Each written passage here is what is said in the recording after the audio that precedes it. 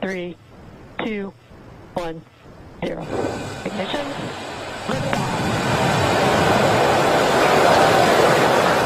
And resilience rises. Not even gravity contains humanity when we explore as one for all. Hola, ¿qué tal? Soy Bitsy Killer. Bienvenidos una vez más a mi canal.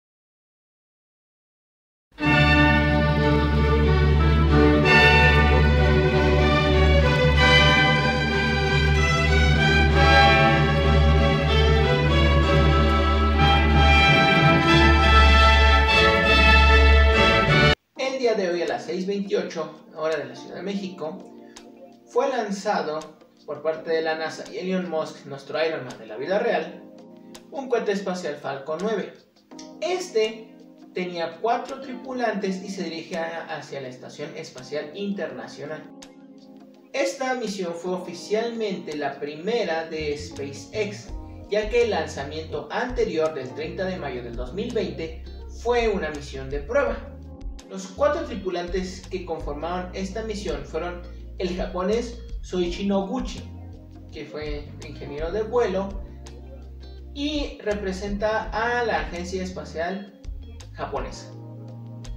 También conformando parte de esta misión, Victor Glover, que es el piloto de SpaceX y que es la primera vez que va a tener un vuelo espacial.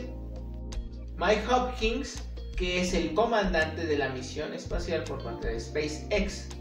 Y por último, pero no menos importante, la doctora en física Shannon Walker.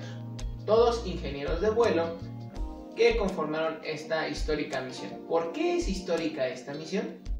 Esta misión es histórica porque es la primera misión operativa que se lleva a cabo en suelo norteamericano desde el año 2011. La última prueba, como ya había mencionado, fue solamente una fase para el vuelo que se tuvo hoy. Esta es la primera misión realizada por una cápsula norteamericana más larga en la historia, por lo cual este también es un hecho bastante histórico.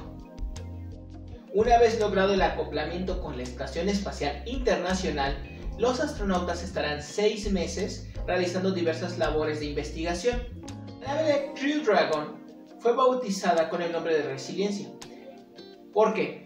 En palabras de Noguchi, este ha sido un año bastante difícil y sentían que el lanzamiento de esta nave iba a representar un rayo de esperanza para esta época tan pesada que estamos viviendo.